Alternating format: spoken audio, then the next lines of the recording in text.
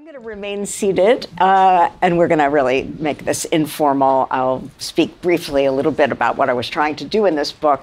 Then we'll have a discussion with Ryan and then with everyone else. Thanks so much, uh, Lisa and Neil, and everyone at CEGU and 3CT, and the bookstore, of course. Uh, I, I, I have to remember that I'm not leaving here without a copy of history and class consciousness. I hope you have one. I need it desperately. Okay. um, so, cannibal capitalism. Um, I think I should start by um, quoting one of my favorite lines from Marx, which I quote uh, often. Uh, it's about what critical theory is. He says in an early manuscript, it's the self clarification of the struggles and wishes of the age. And I've always liked that as a definition. So, what should critical theory look like in our age? Number one, it's got to be a critical theory of capitalism. For too long, that word was, you know, sort of banished, a kind of embarrassment. Some, a few dinosaur diehards would still whisper it in alleyways, but, but basically, it was not a respectable subject. Fortunately, that is no longer the case. And uh, the reason why I think, um, well, there are several, but the, the one that's front and center on my mind now is the sense that we are in a, a big hot mess, a situation that can't really be understood if we stick to the idea that there's this discrete problem over here and this other one over there and then this one and that one. Oh, and by the way, there's this discrete social movement over here and this one over there, and they're all trying to right these various discrete wrongs. No, it's, it, it can't just be a coincidence that the planet is burning up at the same time that police are murdering black men and women in the streets at the same time that people are running from job to job, little jobs, right, trying to sort of figure out how to take care of their families, uh, and uh, so on and so forth. That that that you know democracy is in a, a major uh, crisis this is not a coincidence. There is something in the social system that underlies all of this. That is my firm conviction. And uh, that's really why I started um, thinking seriously again about capitalism in the last few years. Now, what I discovered very quickly was that we really needed to think about it in a different way. I started out by quoting Marx, and I'm happy to say that in some sense or another, I'm a Marxist. Uh, I'm not embarrassed at all to, to say that. But everything is packed into that in some sense or another.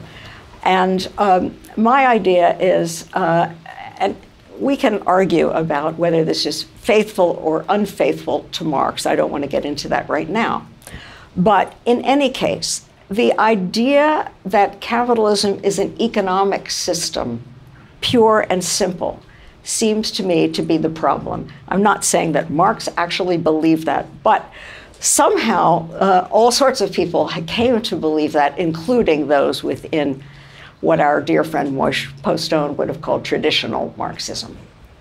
So, capitalism is something bigger than an economy if a critical theory of capitalism is going to illuminate our crisis, and uh, it is a crisis in my view, and it's what historians would call a general crisis. It's not sectoral, it's not in this domain and in that domain and, and so on, but it's all together. All it, it, it has many strands, but they are mutually entangled and are exacerbating one another.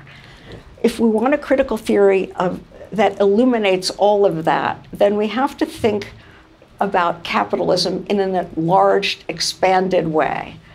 It's not just an economic system, but it's about a society, I call it an institutionalized social order, that sets up a perverse, contradictory, and deeply destructive relation between its economy and a whole set of seemingly non economic institutions.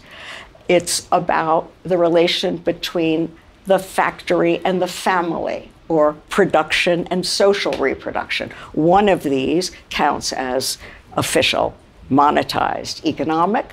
The other is some sort of a, a background uh, for that, which supplies some important inputs for the economy, but is itself not thoroughly monetized, marketized, commodified. What does it supply? The family? It supplies that essential commodity, labor power, but not by paying people to produce labor power, by getting them to do it for love and a whole bunch of other reasons.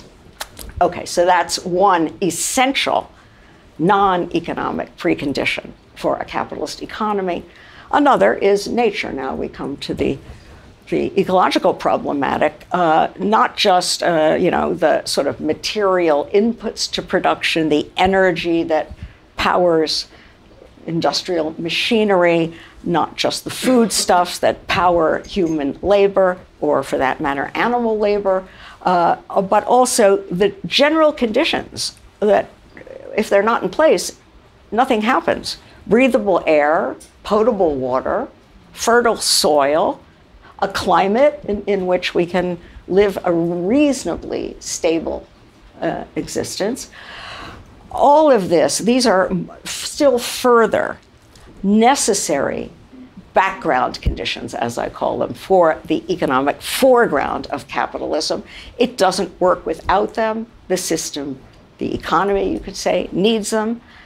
And yet, as with care work, which I spoke about a minute ago, the, the economic part of the system is primed to free ride on those things, to scarf up, to take what it needs without giving a damn about replenishing what it takes or repairing what it damages. It's just all there, uh, you know, supposedly. This is what I mean by a perverse, contradictory, destructive relation. The same is true for a third precondition for a capitalist economy, and that is public power, legal systems, infrastructure of all kinds, um, uh, regulatory apparatuses, all of that, broadband, I mean, you name it, all of that that we know the market is unable to provide in the form of for profit commodities, even though more and more in this country, at least, we try to do it that way. So, public power is a necessary condition for a capitalist economy, and yet, here too, the capitalist class doesn't want to pay for it. It, it helps itself to all the goods it can provide, and yet is constantly trying to evade it offshoring its operations, dumping its money in tax havens, uh, lobbying, capturing regulatory agencies through lobbying and, and other means. So we have a tendency to hollow out the very public powers that the society needs, that capital needs in one sense, but more importantly, that we need. So, another perverse contradictory, and now I'll finally use the word cannibalistic uh, relationship between the economy and its background conditions of possibility. I'll mention uh, one more, and that is I believe that you, you don't have the exploitation of free workers, which Marxist theory tells us produces surplus value, which is the end all and be all for a capitalist, supposedly actually, I think it's really profit rather than surplus value, but that's another story. Um, you don't have the, the, the, the uh, successful, profitable exploitation of free labor if you don't also have somewhere disavowed in the background, hidden away, a lot of unfree, dependent, or semi free labor that is uh, not, with whom the niceties of contract and law are not operative. Uh, coerced labor, coerced in one way or another. And this uh, overlaps historically and today with racialized labor, right? With a, what I have recently taken to calling sub work de- degraded, disrespected, ill treated, uh, you know, dirty, dangerous, ill paid work. So there's a, that's a fourth necessary condition for the, the, the, magic of capital accumulation with, for what is sometimes called capital self-expansion. Of course, everything that I've just said shows you that it's not self-expansion. It's expansion that depends upon cannibalizing sources of wealth that are not officially counted as economic, that don't appear on the balance sheets of the corporate sector or in um, at least the way they used to construct the UN statistics. Uh, nowadays, I think they've all adopted some of them are just Sen's ideas, and maybe other things are included there. But um, this is what I mean by cannibal capitalism. And what I've been describing, it's a recipe for big trouble. And that's not to say that we're always in big trouble. I actually think that the kind of crisis we are facing now is relatively rare in the history of capitalism. There may have been the last one of this magnitude was in the 1920s and 1930s, this Great Depression. Uh, you know, maybe there have been four, at most five such crises in the history of capitalism, where all of the efforts to diffuse the contradictions, to soften the tensions, often by displacing trouble elsewhere onto regions or populations that are uh, considered, you know, un, unimportant, uh, you know, not, uh, not powerful enough to cause trouble, basically. Populations that have been deprived of political clout or self-defense, we can we can push all the, the trouble onto them. So um, there are ways of diffusing these crises in normal times. But as I say, I don't think this is a normal time. And I think that what I've been describing is a kind of, you could call it an objective structural crisis where the previous regime that was supposed to patch up the trouble has, is, is in tatters, has, has dissolved. There isn't yet on the horizon a credible successor project, one that can command uh, widespread support, which would be necessary uh, for a transition that is not just a complete, you know, um, armed uh, takeover. Um, and so this is not just a structural crisis, but a, but a hegemonic crisis. The neoliberalism really isn't, it, its ideology is no longer credible. The idea that if we just get rid of the governmental red tape and, and just marketize everything, it will all work.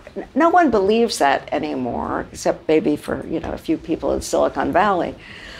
But um, the problem is, it, it, this is a moment in which people are really looking for alternatives. And because the, the sort of narratives, the framings and interpretations that normally contain dissent, marginalize, you know, very radical dissent, keep us arguing on the basis of supposedly shared con- consensual, you know, underpinnings, because that's all gone people are contemplating out of the box ideas, some of which are god awful. And um, now I come to sort of the political fallout of all this. It's often thought that in order to counter the god awful, we need to close ranks drop the most radical, egalitarian, system transforming ideas, defend liberalism against fascism, et cetera, et cetera. There may be a moment when that is necessary. When, when the moment comes, I'll be there on the barricades. But I don't think that's the moment now. I think this is the moment to really try to construct a truly transformative project that will lay to rest this cannibalizing dynamic once and for all. I, I don't see how we can actually address the climate crisis, actually address the care crisis, the crisis of democracy, the crisis of racial injustice and imperialism. I don't see how we can actually um, do all of that if we don't take a hard look and are not willing to contemplate transforming this underlying structure that I'm claiming is driving all of that. Um, so, um, how can we imagine a society that does not basically put nature, families, public powers, and, and all the rest, that doesn't just serve it up on a meal to these guys and say, yeah, just, just feast on it and, and, and feast on us while you're at it. And, you know. how, can, how can we reimagine uh, society? I, am happy to say that I'm a democratic socialist, but you know, I, I it, that's another word that's thrown around a great deal these days, and I'm glad for it. But I don't think we have a lot of clarity about what it means. And I will close with one last thought. This is not uh, by any means satisfy the idea of clarity about what it means. But my one thought is we have to figure out how to have a system that involves something like pay as you go, no free riding, no displacing unpaid costs on others, including on future generations. We have to develop non antagonistic relations between whatever we're going to produce, which we are going to need to in the, in the way of, of use values and, and, and so on, all the things we need, uh, non antagonistic relation between that activity and the ecological reproduction of the planet on the one hand, the social reproduction of human beings on the other, the reproduction and uh, of, of public capacities to coordinate everything we must have public powers. I'm against anarchism, even though I'm teaching a course on it now. And I'm learning a lot, actually, but still.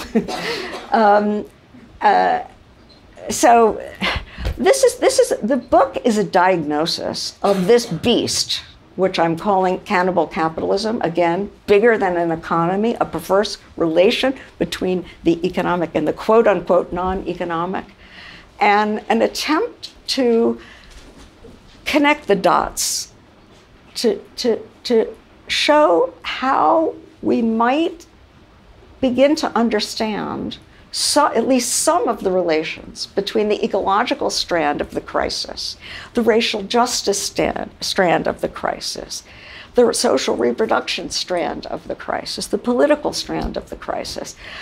And I think it's important to have a way of connecting those dots in the last analysis, because how else are we going to how else are we going to understand who are our allies in a struggle to transform this structure? Who are our allies and who are our enemies?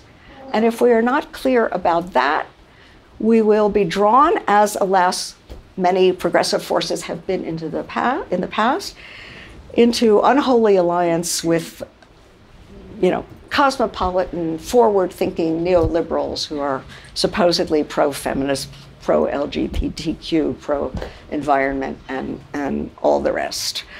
Um, all right, so can, Cannibal Capitalism is a proposal, this book, for how to connect the dots in the hope of satisfying that Marx idea that I started with providing at least some of the self clarification of the struggles and wishes of the age.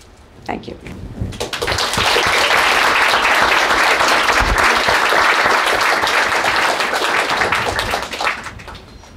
Well, good evening, everyone. I think it's my turn at the mic. Um, I want to thank the organizers um, of today's event. I want to thank the Seminary Co-op. It's a lot of fun to be on this side of the room. I've been in, in the crowd many times over. This is really the best of UChicago, if I do say so myself. I also want to thank 3CT, and especially our guest, Nancy, um, you know, for inviting me to participate in this vibrant and very timely forum on cannibal capitalism. And I just wanted to say also, I'm in awe of how sort of the, the clarity of your remarks just now, and I hope that if anything, my comments here will provoke even more brilliance out of you, Nancy. So that's my task here.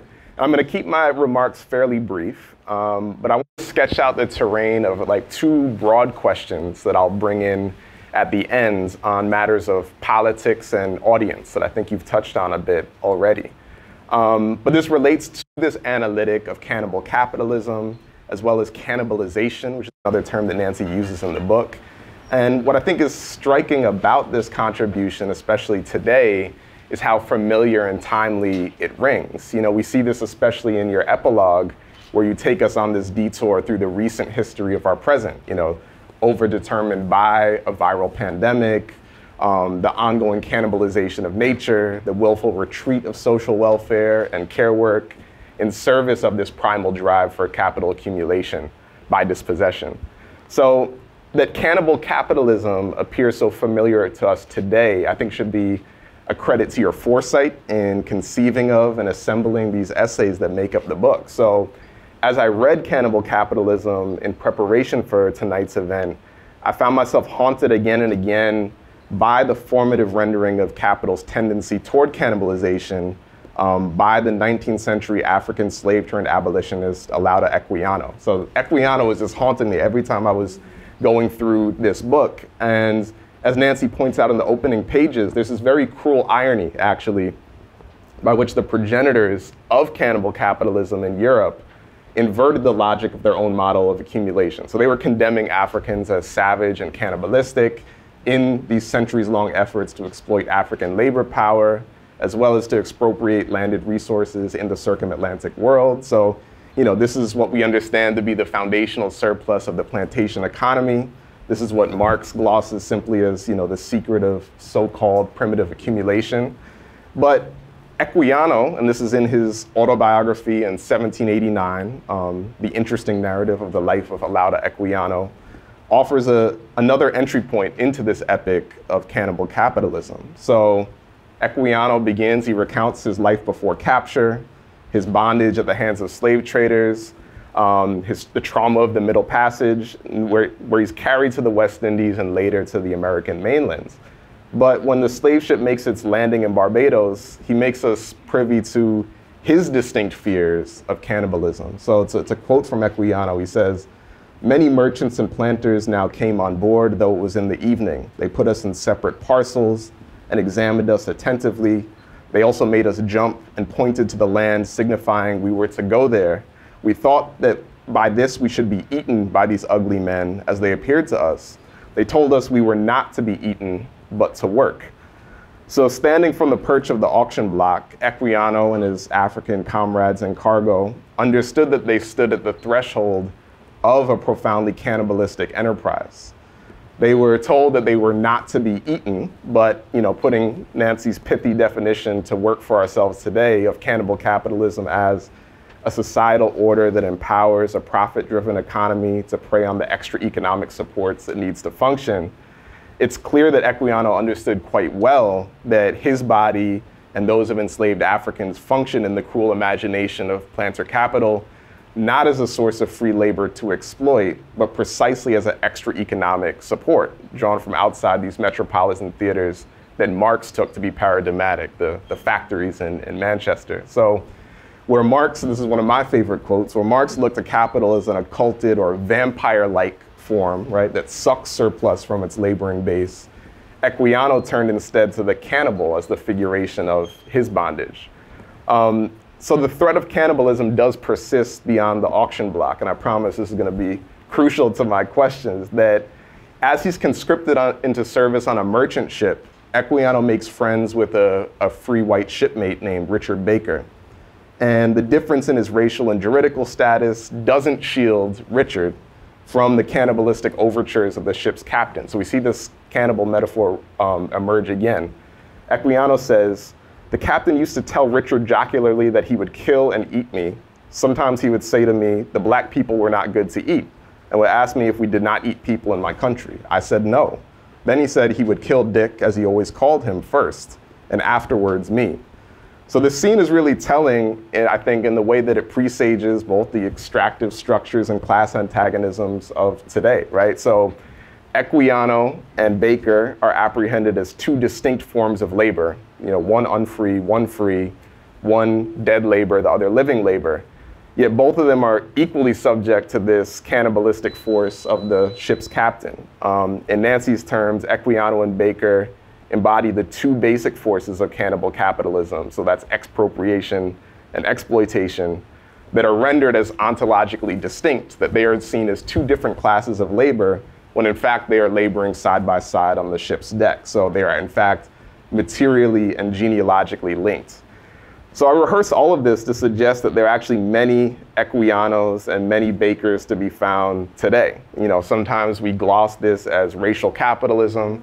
I have my own sort of appreciation and critiques of that category, but I think it sort of represents more than anything the continued re- relevance of race to these repertoires of capital accumulation. Um, one of the critical problems I think that Nancy is giving voice to facing us today is the ability of Equiano to apprehend the threat appropriately, you know, while this nominal status of freedom obscures how his friend Richard Baker also is conscripted into this matrix. I mean, albeit unevenly. So, what I appreciate most about your book actually is your insistence that contemporary social theory as well as socialism dares to catch up with Equiano, right, and his 18th century treatise on cannibal capitalism. So, with Equiano in mind, I think this is where I'll turn to my questions as they pertain to our political present. Um, first, in a sort of crude simplification, I might ask sort of, is the prim- primary audience for cannibal capitalism the children of Equiano or the children of Baker? And I'm being a bit cheeky here, but in other words, there are many who already encounter capital as cannibal-like, perhaps rather than vampire-like in their lived experience of abandonment, necropower, you know, thinking, again, as you said, the, the subwork, the wageless, the wretched. Is the aim then to convince Baker, you know, who Equiano claimed as a genuine and lifelong friend, to cast his lot with Equiano against the allure of the wages of whiteness or whatever other sort of name we give to that structure.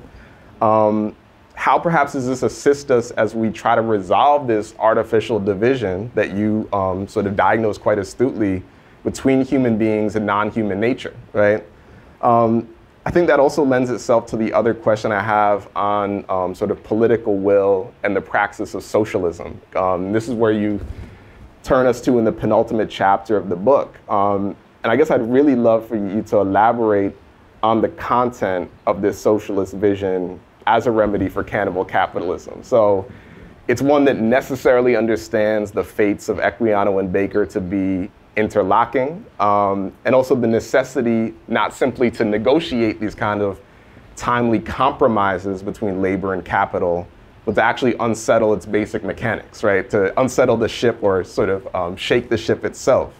Um, namely, what we see now in the pursuit of you know mineral and hydrocarbon reserves, of fossil power, and new reserve armies of labor power. So I say this, you know, as you as you left us with Nancy, that you know what often passes for socialism today in the form of you know welfare capitalism, taxing the rich, redistribution measures, other kinds of band-aid reforms seems to actually be unfit for the task that you've laid out here. So I guess I'll, I'll end by asking sort of how might the grammar of cannibal capitalism travel and compel us to adopt that new critical vocabulary that we need, um, and perhaps a new political horizon as well that goes beyond the social democracy that often masquerades as socialism today. So I'll leave it there. Nancy, I would love to hear you, you know, your thoughts on these questions.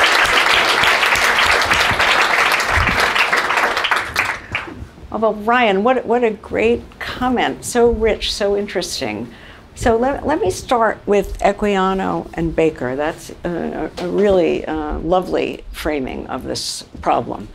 Um, I'm going to start with just a, a, a, technical definition, and then I want to get to the more human and political uh, issue here.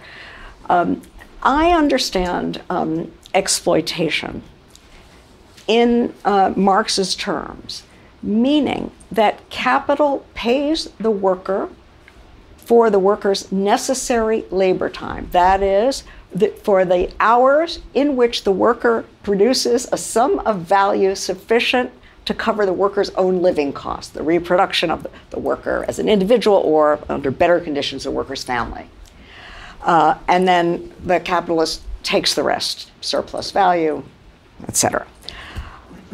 Expropriation, and, and uh, oh, that, that's the sort of one aspect of the de- definition. The second aspect is the um, idea of the labor contract that the, the worker is considered to be the, the owner of the worker's own labor power, able to dispose of it. He or she can sell it to any capitalist that they want. Of, of course, the hitch is Marx always says that worker is doubly free, meaning uh, they're not only free to sign the contract, but they don't have any choice about it because they have been freed of any access to the means of life and the means of labor, right? Okay, that's how I understand exploitation. I understand expropriation as different on both of those points. I understand it uh, first because in this case, capital does not pay the full reproduction costs. The, capital may not actually pay anything, or maybe it, uh, it, it pays a little bit, and maybe it doesn't pay it to the actual worker, but to somebody else who's you know the owner of the worker or whatever. Um, but in any case, you're, you're, you're not even getting your necessary labor hours compensated, let alone the others. And, and, and in addition, you don't have that status of the free individual who can sign. You are bound to the land, to some kind of a, a master, whether we're talking about chattel slavery or some form of serfdom or debt bondage or uh, you know, sharecropping, whatever, some sort of way in which you are really stuck. You're not mobile. So um, there's been a lot of interesting uh, uh, discussion about how free really is even the free worker, which I think is what part of what your story is getting at. Um, and you know, people have, have, have shown all the ways in which that, that's not much in the way of actual freedom.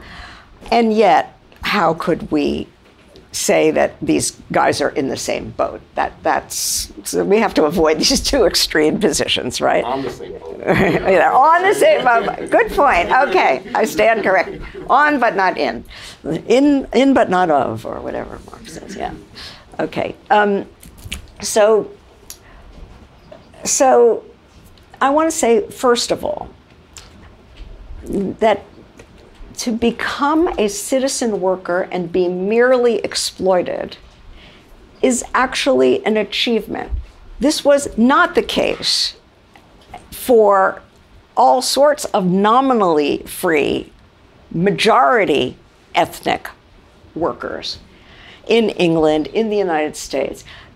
People had to organize and fight tooth and nail to be merely exploited, to slough off the trappings of expropriation, to, to actually get those hours uh, that cover their. Uh, so it's an achievement, and it's an uneven achievement. And I think what's happening today is that some people who did make that achievement are actually losing some of it, are finding that in, in at least some sense of expropriation, they're being paid less than the cost of their reproduction. So there's, I think we're seeing this, these kind of hybrid figures that are exploited and expropriated, even as there is what Du Bois called the, the you know, that, that dark mass of proletarians uh, around the globe who remain expropriated, pure and simple.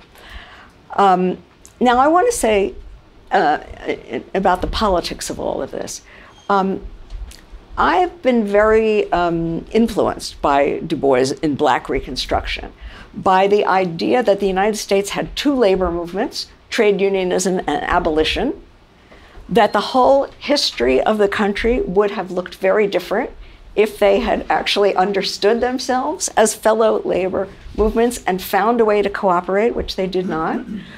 Um, and now here's where I want to complicate your ship. I guess ships in, in those days were all male. But um, we, we have some other workers that we have to put into this story. We, we, have to, we have to talk about the enslaved women who were right coerced into breeding more slaves. We have to talk about the free women uh, uh, whose husbands were in the factories and didn't earn enough and had to take up sex work on the side and so on. Um, so that was sort of my, my thought about Du Bois was, um, yeah, two labor movements. But why stop there? Why not three? Couldn't we imagine that feminism is an unacknowledged labor movement? I'm not talking about liberal feminism exactly. Um, just as you know, liberal anti-racism might not, at first glance, look like a labor movement. Um, so this gets to this idea of, um, of whether people can recognize one another as not being in, in, in the same situation. These situations differ, but being victimized by the same system and having a real stake in overcoming that system. Do they have to love each other at the start? Do they? You know, probably not. Um, but um, this is how I understand the politics. So yes, Baker, Equiano, and you know the the nameless women. Uh, who uh, I should think of some names, but uh, whoever they are. Uh, uh, uh, who are, represent the unacknowledged third labor movement. The, the ship was a, an interesting um, liminal space. Um, and according to Linebaugh and Rediker, it was the, one of those scenes of the many headed Hydra where uh, all sorts of unusual alliances and, and, friendships and solidarities and, and so on develop. I, I suspect that might be somewhat romanticized, I'm not sure, or certainly not representative. I think the representative story is that of division, of people clawing their way up and saying, I'm not going to be pulled back down to where you are. And that's what's so hard about the present. When people feel they are losing something, um, it's very hard to, to for them to understand that they actually need to make common cause with people who are, have had it even worse. Uh, I think that's our, our political problem. So I would say the problem is, is less that Equiano doesn't um, recognize Baker. It, uh, well, I'm not talking about the individuals, but, but more the other way around at the moment. And um, anyway, that's that's on socialism. Uh, that's the other thing you asked me about. Okay. Um, well, I really can't say too much. You, I, I totally agree with you that social democracy is not the answer. I doubt it's. Well, you know, social democracy rested on all of those social welfare measures and, and, and so on that you talked about made things better for uh, some small portion of the world's population in, in wealthy countries, but it rested on the automobile industry, for God's sake. Where did the taxes come from? It rested on fossil capitalism and on pet. What is your uh, petro predation or whatever? Uh, so the the imperial uh, dimension. Um, it always uh, it institutionalized women's dependency. It, it, it excluded domestic workers and agricultural workers from. I mean, you know, we know all the the exclusions. This is not something we even. Here, here's what I'm saying. this beast is so rapacious that when you try to take away one, one, uh, you know, sort of part of its meal, and, and even if you succeed in limiting its access to that, it says, okay, no worry, I'll go somewhere else and find something else to eat. The, the, you know, the world is my oyster. Uh, and, and, there are lots of different oysters. So, so I, it's hard to see today uh, how we could uh, social democracy could, would work. But I'm saying something even more provocative than that. I'm saying traditional socialism is not the answer. It's not enough to socialize ownership of the means of production. It's not enough to reorganize production.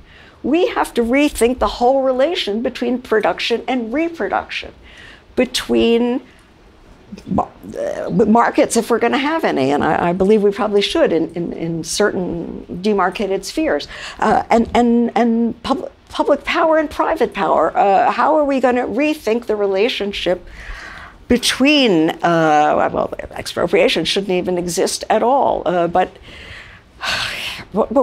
control over the social surplus, that's the crucial idea in my idea of socialism the, the social surplus that we produce, if any, is the, the collective work of all of us. It doesn't, it's not an individual thing. It shouldn't accrue to anybody except to society as such. It's, a, it's collective property. And that means figuring out what to do with it. Or maybe we should have less of it and we should just work less.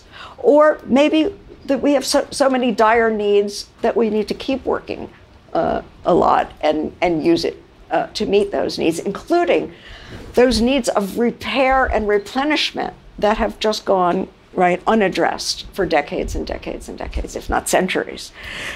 So um, to me, that's the that's the core thing is the is the question of uh, of surplus, and you know, and that means that and, and this whole reimagining of of what these relations are.